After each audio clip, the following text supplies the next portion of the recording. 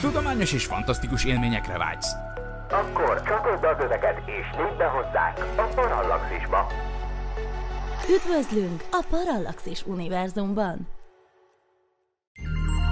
Figyelem! A műsorban spoilerek bukkanhatnak fel. 16 éven aluliak számára nem ajánlott. Az MD Média bemutatja.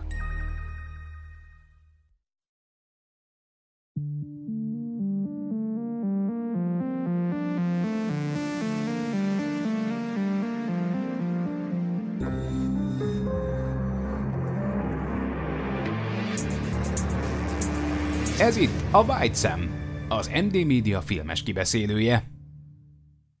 Sziasztok, kedves podcast hallgatók! Ez itt a White Sam, méghozzá a 26. rész. A mikrofonnál Pécsi Géza. Ebben a részben a Fekete Lyuk című filmről fogunk beszélni, ami egy 1979-es skifi. Műsorvezető társaim ebben a részben először is Menyhárt Attila, szia Attila! Sziasztok! Valamint Kő Gergő, szia Gergő!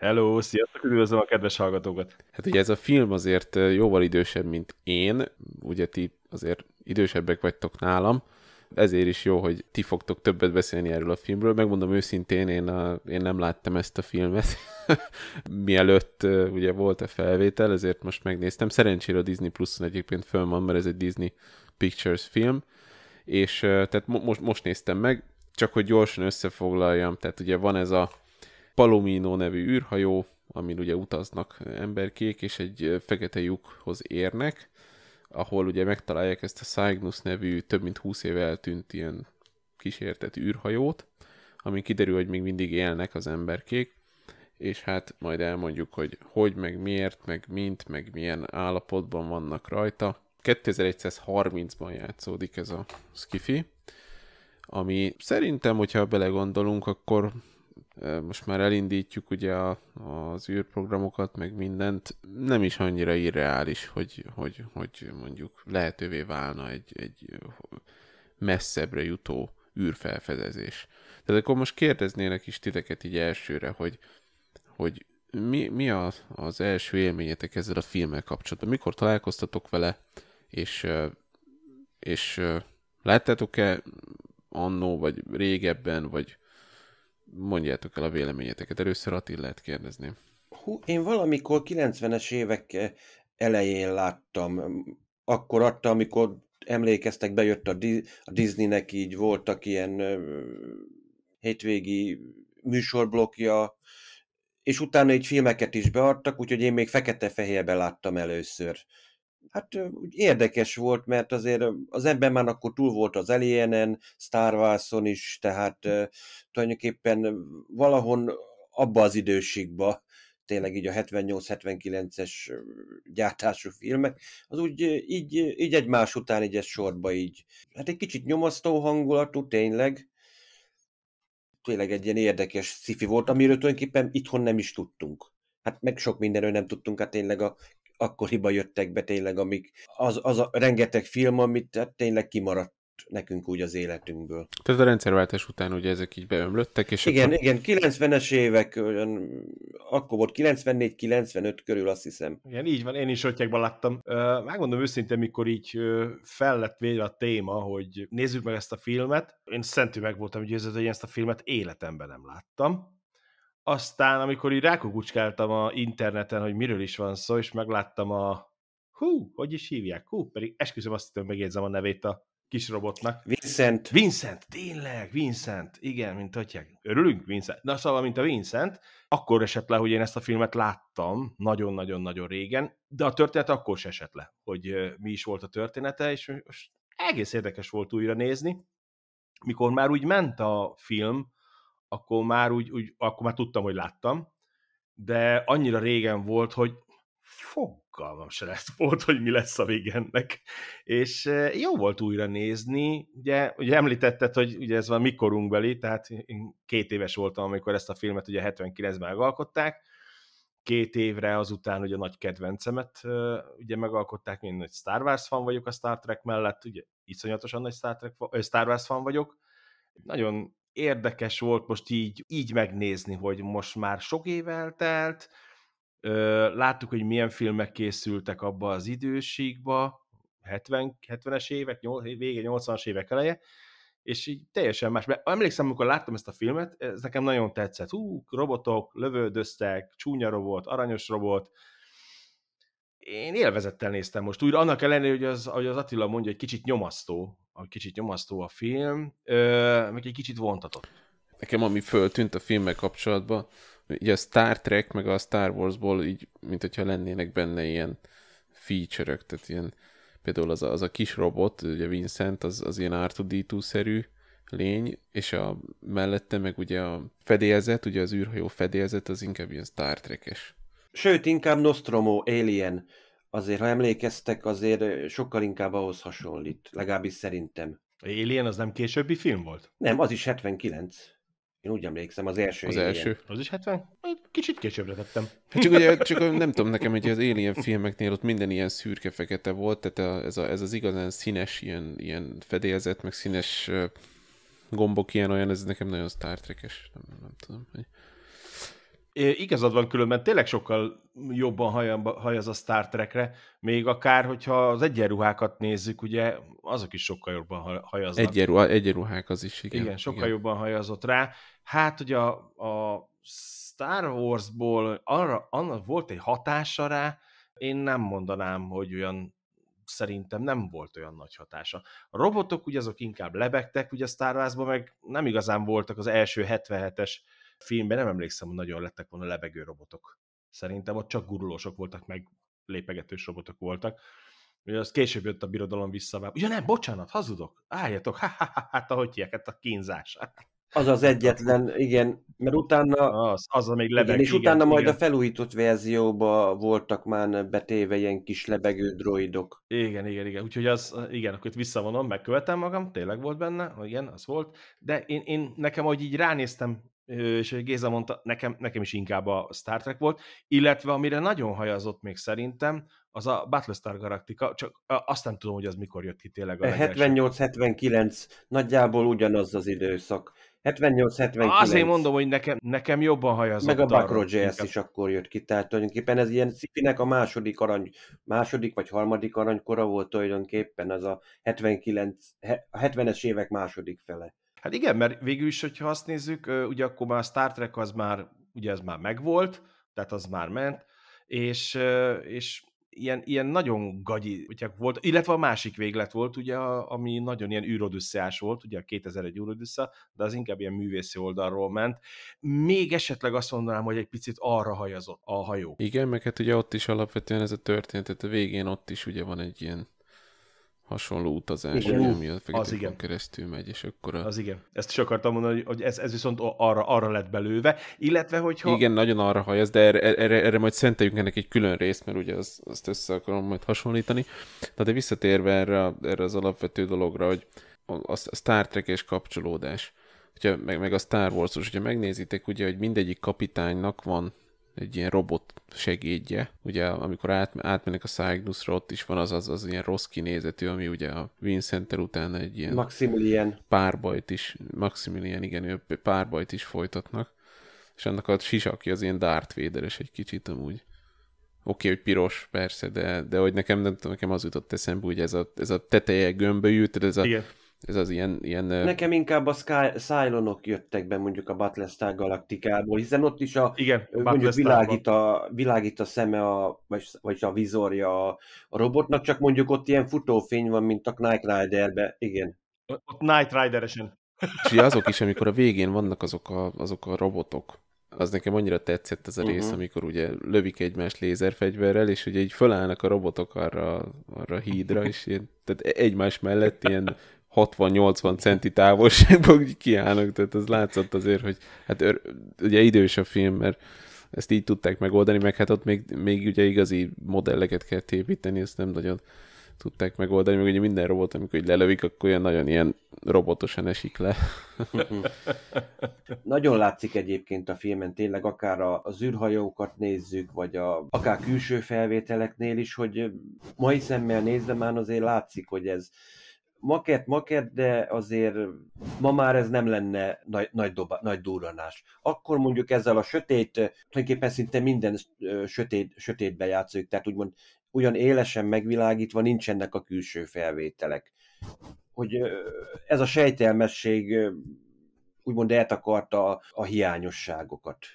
Igen, viszont és ezt akartam mondani, hogy a Star Trekben ugye ott azért robotot úgymond nem látunk. Tehát a robotot is ugye inkább ember játsza. Nomádot kivéve például, mert az egy gép volt azért a nomád. De most akkor, akkor világosíts fel, hogy ez a nomád, ez, ez, egy, ez egy számítógép? Ez nem az a számítógép, amelyik irányítja? Nem, a nomád az tulajdonképpen egy ilyen mesterséges intelligenciával rendelkező űrszonda volt. Jó, de akkor, akkor úgy mondom, hogy ilyen humanoid, ilyen kis robotok. Érted, mire gondolok? Hogy az, az például ugye utána oké, okay, hogy ez nem, az, az nem a TOS, de hogy, hogy ugye a Data sem egy robot volt, hanem az egy, az egy android volt.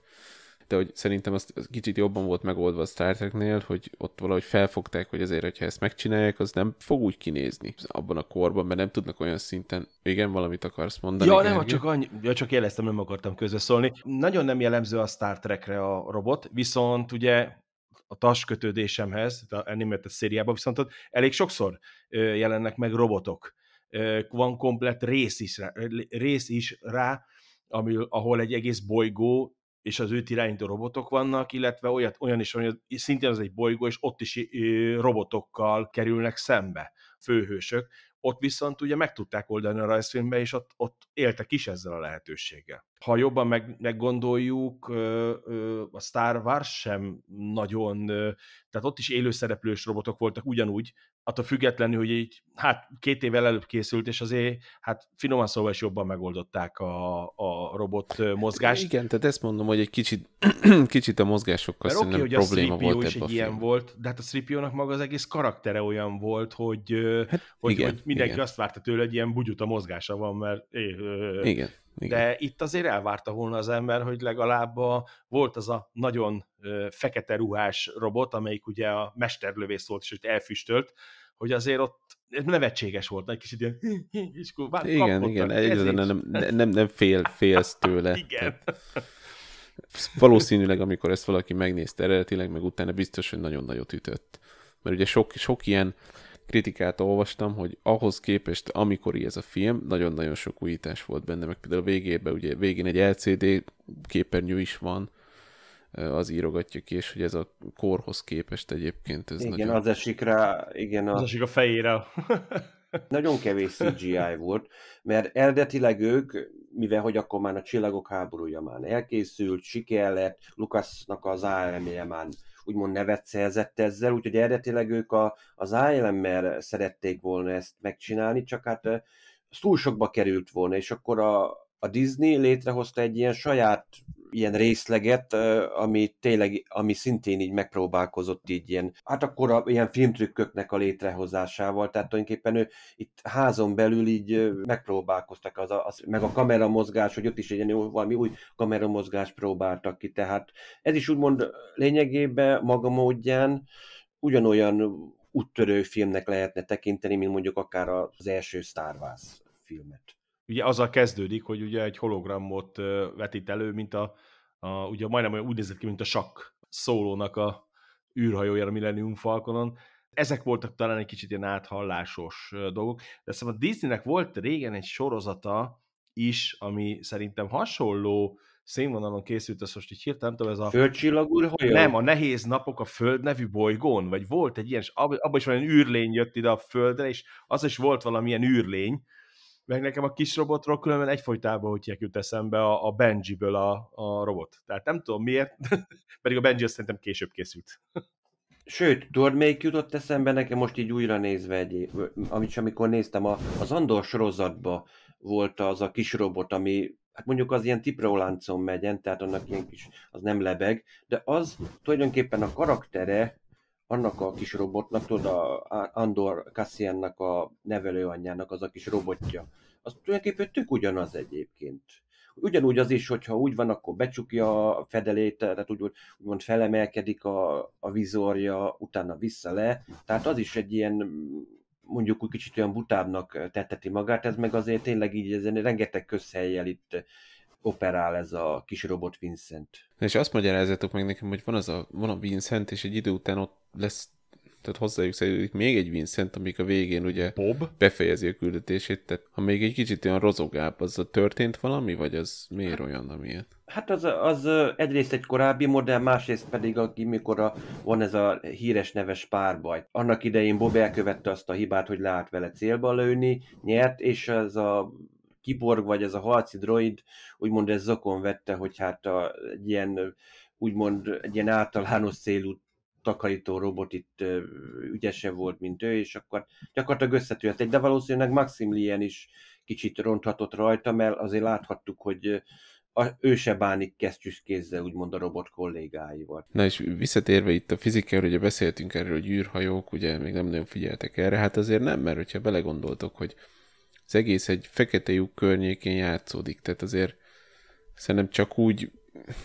fekete lyuk mellett történhetnek az érdekes dolgok, én űrhajóval nem nagyon keringenék arra fele. Hát Ellen Foster erre panaszkodott, mert mivel ő, ő hát mint sok filmnek, egyébként ő írta ugye a könyvadaptációját, hogy megpróbált jó pár ilyen következetlenségeket, tudománytalanságot, megpróbált helyet tenni a könyvadaptációba, csak hát na őt is szorította egyébként a tényleges cselekmény. Tehát való igaz, se az esemény horizont, se az időtágulás, ról nincs semmi, tehát hát végül is ezt, tényleg ezt úgy kell kezelnünk, hogy ez egy szórakoztató, Disneynek az első szórakoztató felnőtteknek szóló filmje, tehát úgymond mese csak mondjuk nem a nem 12 éven aluljaknak, hanem 12 éven felülieknek.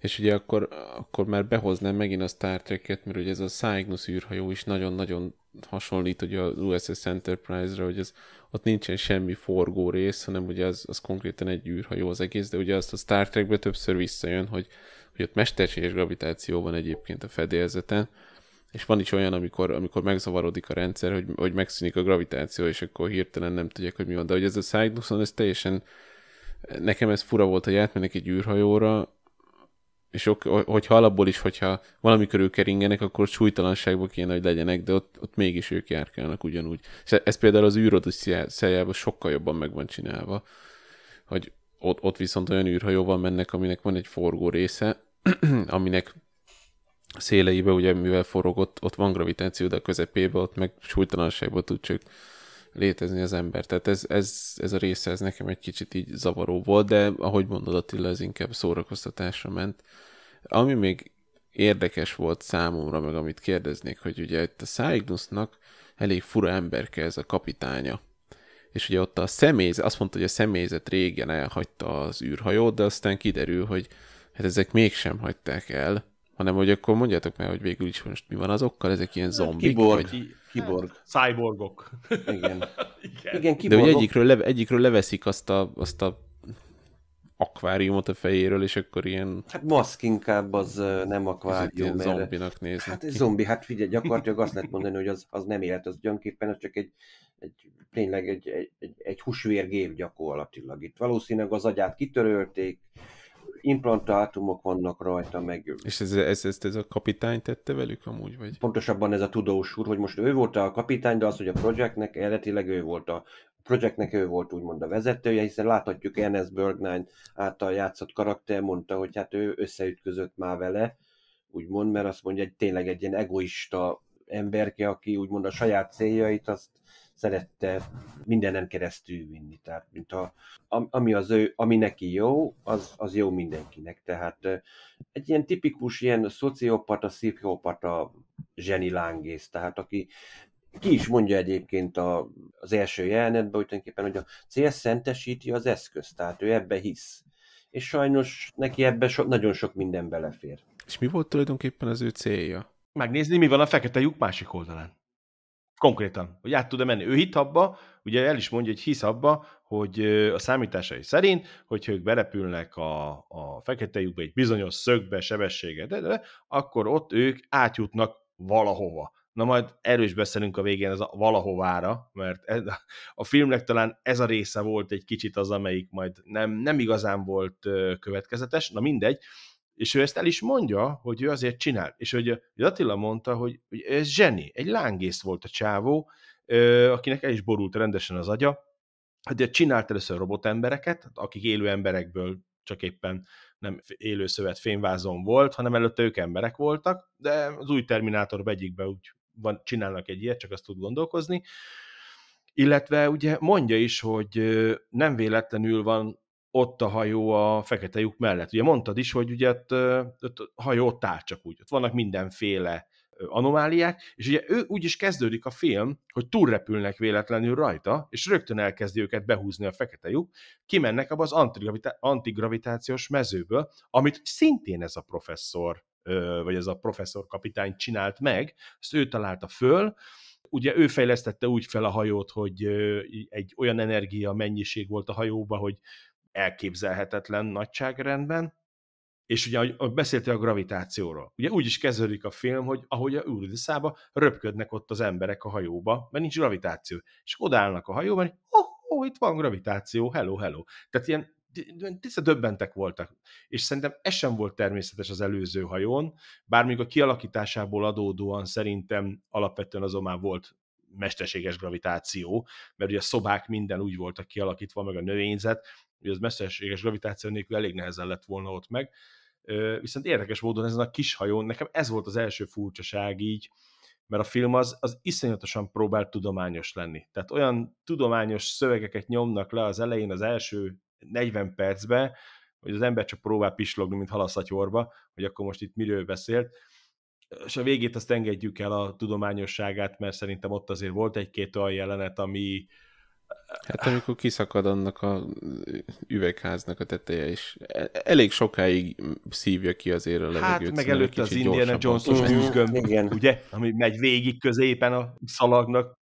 Azok a tűzgombok, ez, ez egyébként azok, azok miért is keletkeztek? Mert hogy azok, azok folyamatosan mennek úgy befele. Azok mete, meteorvihar, hát amit beszippant ez a gigantikus, azt mondom az űrporszívója, fekete lyuk, és most pont véletlenül éppen egy meteorraj került éppenséggel útba. Hát de kerülhettek volna akár napok, tehát úgymond, hát napok, hát végül az ilyen csillagok, de azok gyakorlatilag ilyen nagy hosszú plazma nyalábok ként nyelte volna elfele, tehát... Ő épített egy olyan antigravitációs eszközt, műszert, vagy e, olyan gépet, ami okozza ezt, hogy ott áll egy buborékban, nem messze, hogy hívják. Ezt, ezt ők megmagyarázta, nem mentek mélyen bele, de körülbelül annyi volt, mint a Nemo kapitányban a Nautilusnak, ugye az állandó energia. Most már tudjuk, hogy az atomenergiáról beszéltek, de hát Verne korában azt még nem így hívták, azt se tudták, hogy hívják, és ott volt ez a berendezés, azt tartotta ott a hajót. É, nekem inkább azzal volt itt problém, hogy itt a meteorraj. Hát ugye meteorraj, hát ezek izzó gömbök voltak. Hát mitől izzottak könyörgöm? Tehát begyújtotta, ahogy hívják a rénszarvas, vagy mi? Tehát, vagy mert, mert egy meteoraj nem ízzik. Tehát ha ott berepült volna az a... Hát akkor ízik fel, hogyha beér az... Kell valami sullódás. Szerintem egy akkora, akkora gömb így bemegy abba a hajóba, hallod, abba a hajóba három másodpercet semmi nem maradt. Tehát az hódzier. És hogyha meg alapból bemegy, és tehát nekem ez nagyon furcsa volt, hogy oda bemegy a hajóba az a gömb, akkor nem szívja ki a levegőt, csak amikor csak kiukasztja a tetejét. Tehát... Végig gurul, hogy hát ennyire nem tudja lefékezni akkor a sebességről. Tehát ez is csak egy ilyen, hát egy ilyen effekt, hogy lássunk valamit, hogy milyen, milyen hősiesen menekülnek. Átkelés, tehát ez, ez minden filmben benne van, amikor valami jön, tök mindegy, hogy láva, vagy jég, vagy, vagy tűzgömb, vagy meteor, de hogyha van egy nagyon-nagyon vékony kis átkerőhely, és emberek mennek, és épp hogy át tudnak érni, mielőtt oda megy, ez, ez a mai napig minden filmben benne van, mert ez, ez oda szögezi. Amit, amit még hallottam, meg amiket így a kritikákban írtak, hogy elméletileg Joseph Kosinskit kérték meg, hogy csináljon egy reméket ebből, és elméletileg azt mondják, hogy 2014 vagy 15-ben várható, ennek nem lett folytatás. Én nem tudok ennek folytatásáról meg ribékről sem. Képre, állítólag képregények voltak, de hogy ténylegesen filmet csináltak-e belőle, ezt azt én se, én se találtam róla információt. Hm. Én se tudok róla, hogy lett volna ennek folytatása. És jó lett volna? Mert szerintem ebből ez azért jó ez a film, mert így a... Akkor megint egy ilyen Földkettő, vagy valami hasonló, valami olyan sorozat jött volna ki belőle, ami me- meg se közelítette volna, úgymond azt mondom az eredet. Igen, meg az a baj szerintem, hogy már 15-ben is már, hogy már nem, nem tudsz egy ilyet eladni, mint ezt, mert nagyon sok minden megkérdőjelezhető benne szerintem. Végül is nyitva hagyták a végét. Tehát, ha jobban melegondolunk, a végét azt nyitva hagyták, mert ugye lehetett volna belőle folytatást csinálni, mert az űrhajó átment valahova. De nem tudjuk, hogy hova. Jó, de hát ez is hogy ment, tehát nekem ez is furcsa. Tehát ő elindult a fekete lyuktól kifele, majd kiderült, hogy valami programozás miatt, ugye ott bekapcsolt ennek a, ennek a kapitánynak a programja, és ez pont, hogy berepült ugyanabba a lukba, utána a fekete lyuk belsébe, és akkor utána láthatunk valamilyen elé, na az nekem, tehát az űrodissziával, hogyha összehasonlítjuk, az sokkal gagyibb volt ez a bemutatás, ez az ilyen műanyag slagon végigmenés. Kicsit furcsa volt. És akkor utána kiment ugye ez a, ez a rakéta, és most én nem tudom, hogy ez mibe repül bele a végén. De ezt hagyják nyitva? Tehát nem tudod, hogy hova repült. Valahová megérkeztek. Megérkeztél valahogy, látod, mint hogy ilyen, ilyen feke, fehér lyukból kijönne, és akkor látod, mint hogy egy bolygó ez fele bolygó volt? repülne. Csak sötét volt a bolygón, és Hát a, az, bolygónak az, nézik, mert sötét oldala, hogy hátulról megvilágítja egy nap. És hát ugye az az érdekes, hogy ott van az a csaj, tehát hogy vannak hárman az űrhajón, azt hiszem. Plusz a robotka, igen. És akkor ott ugye van egy nő férfi, tehát tulajdonképpen ez a, megint csak ez az Ádám Éva, hogy akkor valószínűleg újra lehet népesíteni valahol valamit. Odaérnek, de azt sem tudod, hogy odaérnek, mert én pont ezen gondolkoztam, hogy oké, okay, hogy egy rakétár indul, de hogyha egy rakétával így becélzol egy földet, hát ott azért még le kell szállni, tehát azért a, az nem annyira egyszerű. Főleg, hogy ez egy űrszonda volt. Nem is, rak, nem is űrhajó, hanem Igen. csak egy űrszonda. Nem hiszem, hogy lesz leszálló egység. Igen, elvileg nem, nem arra van tervezve, vagy beprogramozva, hogy most leszálljon egy bolygón. Hát meg milyen a régkör, ugye ott a szögeket is, ezt tudjuk, hogy ugye itt a leszálló egységnek direkt úgy fordítják, hogy az alján van olyan kerámia berakás, hogy az bírja azt a súrlódást, hogyha nem, akkor konkrétan porráig. Ugye említettem, hogy nyitva hagyták a végét. Semmit nem, de, semmi nem derül ki a végén, csak nyitva hagyják, hogy túlélték. Pont. Történet folytatásból lehetett volna szerintem csinálni egy folytatást, arról nem is beszélve, ugye, hogy a doktor kapitány is az utolsó jelenetek alapján ugye elméletileg túlélte. És ő viszont landolt is valahol, valami ilyen, ilyen pokolszerű helyen. De ott ő a végén, ő, ő ott abban Maximiliánnak a Belekerült. Belekerült, igen. van, vagy ő egy cyborg lett, vagy... Belekerült. De benne volt, mint egy űrruhába. Szerintem, Mint hogy egy űrruha lehet Maximilinnek volt ilyen rész, ilyen lehetősége, mint mondjuk a vasembernél például, hogy hirtelen csak úgy felkapod a ruhát. illetve nem menjünk el az a verzió mellett se, ugye, hogy ez a film végig nagyon tudományos akar lenni, tehát ö, próbálkozik nagyon, hogy hú, de ilyen tudomány, olyan tudomány, tényleg nagyon szakszavak röpködnek az elején végén, az bejön egy szál, amikor ugye egy kicsit a hit felé mozog el a dolog. Ö, ugye az, hogy, hogy mi van ott, az Isten mit alkotott, meg hogyan, mi lehet a másik oldalon, lehet, hogy Mennyország, ha erről az oldalon nézzük a végét, akkor úgy is lehet nézni, hogy professzor doktor, meg a Maximilian, a gonoszok a pokolba kerültek. Ugye ott volt minden, mászkáltak mindenféle lények, amit nem tudunk kicsit, nem látjuk, tűzes, minden. Ő, a másik csapat, meg kikerült egy olyan helyre, hogy fehér, glória világít a bolygó körül, tehát a mennyországba kerültek. Ennek szerintem volt egy ilyen olvasatja is. Itt szerintem a film meghagyta a nézőnek, hogy mit gondol, amúgy nagyon utálom ezeket a lezárásokat, gyűlölöm az ilyen filmlezárásokat, amikor, amikor tényleg százfele elmehet a dolog, és, és, és, és lehet, hogy csak én vagyok, ez az én hibám, hogy én olyan vagyok, hogy szeretem, hogy egy film le van zárva, úgyhogy tudom, hogy merre megy tovább, de amikor ilyen véget kap, hogy, hogy fú, Igen, ezt én sem szeretem, amikor így kérdést hagy benned, meg, meg ugye ez, ezt utólag már ugye én úgy fordítom le, hogy az ilyen filmek olyanok, hogy na ennek biztos lesz folytatása, mert ezt még ebből még nagyon sok pénzt lehet csinálni, hogy ugye főgonosz így fekszik, és akkor az utolsó jelenetbe föl ki, kinyíl a szeme, és fölnéz. Hát, mint a Flash Gordonba emlékeztek, volt a mozifilm, hogy akkor ott van a gyűrűje, és akkor egyszer csak valaki felveszi. Tehát úgymond a, főhős, a főgonosz eltűnik, eh, hopp, egyszer csak valaki felvesz a gyűrűjét, nem tudod, ki veszi fel, és azóta se tudod. De hát a Marvelek ezt most már nagyon, nagyon magas szintre vitte föl ezt a fajta típusú lezárást, tehát meg a, meg a DC is, tehát akár a zöld lámpásba a végén, amikor Miss Maestro átvesz, Mistro? Mestro? Mistro? Nem, mindegy, valamilyen neve van neki a csávókán, amikor zöld lámpásból sárga lámpás lesz. Ugye aki ismeri a DC univerzumot, az tudja, hogy ő lett a sárga lámpás, tehát ez nem kell messzire menni a, a Zsáréró féle Leguan Godzilla, tehát amikor végén a tojás kinyílik, és akkor jön az új Godzilla, meghagyták a folytatást, de jó, hogy nem csinálták meg azt, úristen. Rengeteg ilyen film van, ami él ezekkel a um, filmes klisékkel. És ez is nagyon vicces volt, amikor ugye éppen ben vannak az esemény horizonton, mennek át a fekete lyukon, akkor így, így forognak, és akkor mindenkinek valami megy az agyába, amit éppen beszélt, és annyira vicces, hogy a robot, robot agyába is az megy, amit az a másik robot mondott, ki legutóbb, azon én rendesen rögtem. hogy, hogy így nagyon, nagyon ilyen, ilyen emberi tulajdonságok. Igen, mi vagyunk a legjobbak. Igen, hogy... ne, ne hoz ránk szégyent, és akkor...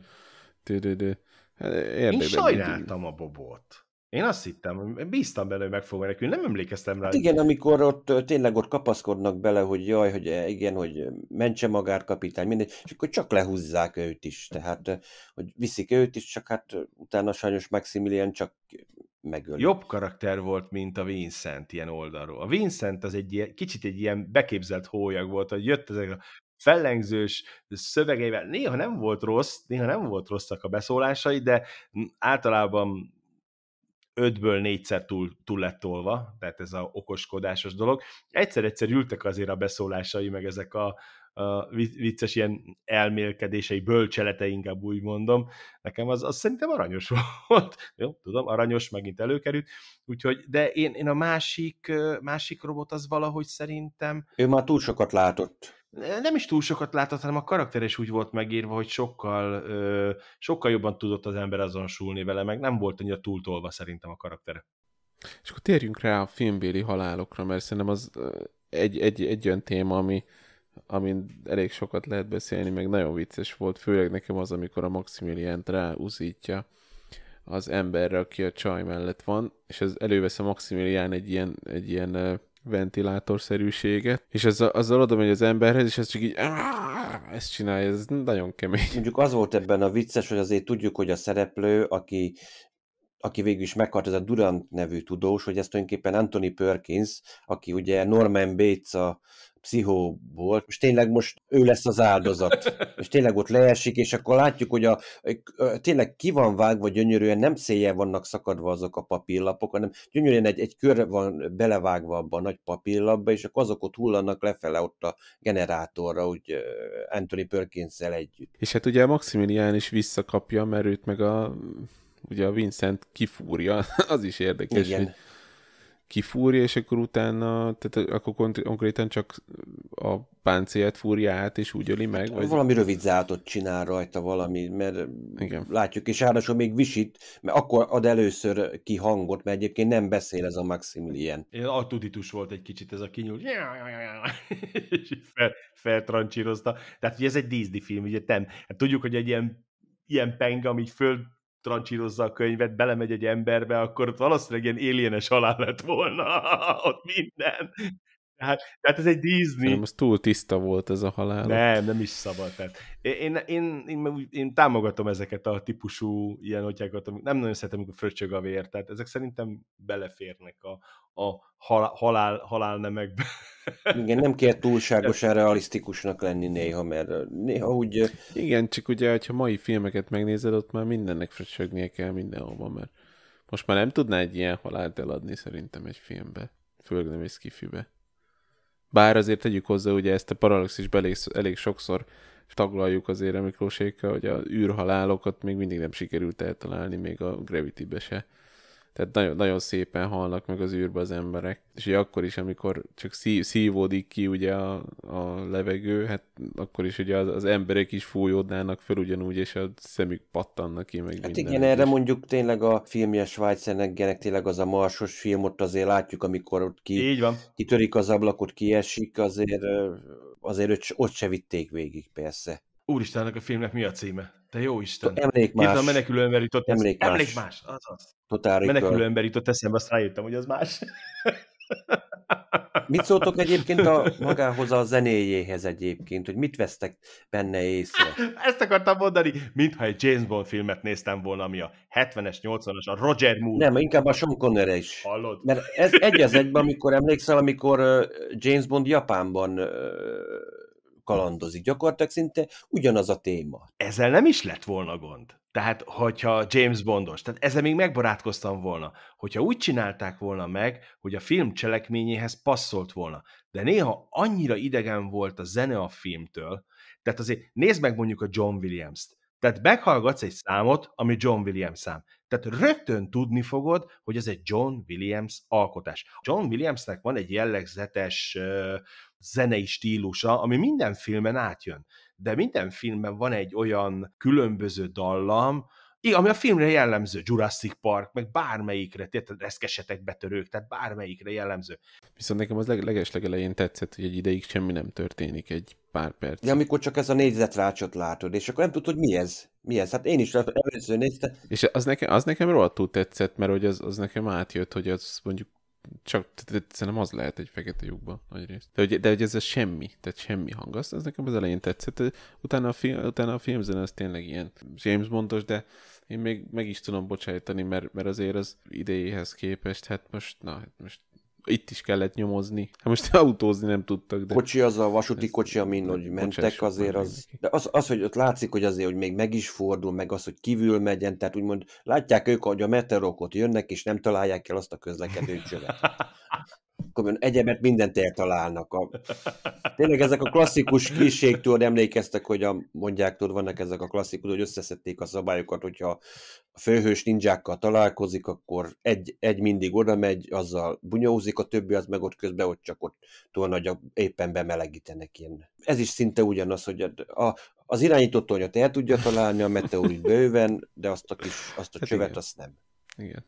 Na most akkor, hogyha most már így a, a műsor végéhez közeledünk, akkor értékeljétek ezt a filmet, tehát 1-től 10-es skálán miért kapna tőletek és miért? Először Gergőt kérdezném. Ha azt nézem, hogy mikor készült, akkor sem tudnék rá egy hatosnál jobbat adni. Lehet, és lehet, hogy most túlértékelem. Most nézném meg, tehát most láttam volna először, nem a látvány miatt, akkor már egy kőkemény 3-as, 4-est adnék rá. Nagyon ritkán húzok le így filmet, de szerintem a maga korában, 79-ben sem lett volna jobb ez hatosnál ez a film. Ami nagyon nekem pozitív volt benne, nekem attól függetlenül a robotok, tehát a robotok, attól függetlenül a Vincent egy kicsit okoskodó volt, meg a Maximilian, szerintem ez jó volt.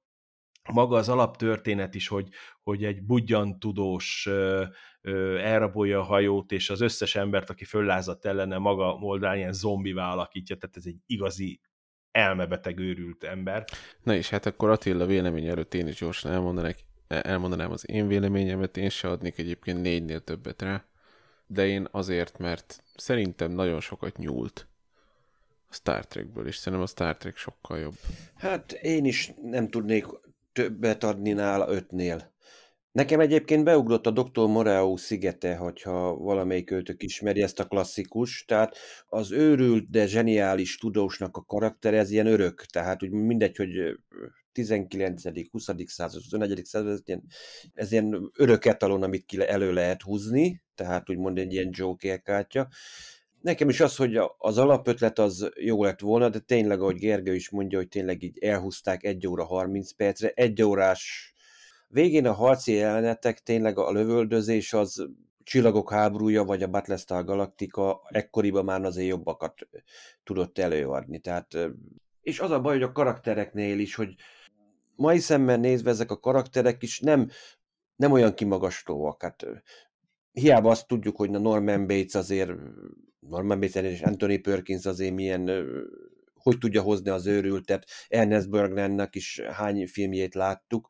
Maximilian Sherről tényleg a leplezett, hogy önkontroll alatt tartott őrültség, tényleg szó szerint, ami utána kitör, tehát néha-néha így megvillantja magát, hogy na, hogy hoppá, itt a felszín alatt nem csak, a, nem csak egy ilyen remetek, zseniális tudós van, hanem hogy nem sok válasz el attól, hogy tényleg minden szabályt félredobjon. Nem mondanám, hogy minden héten megnézem.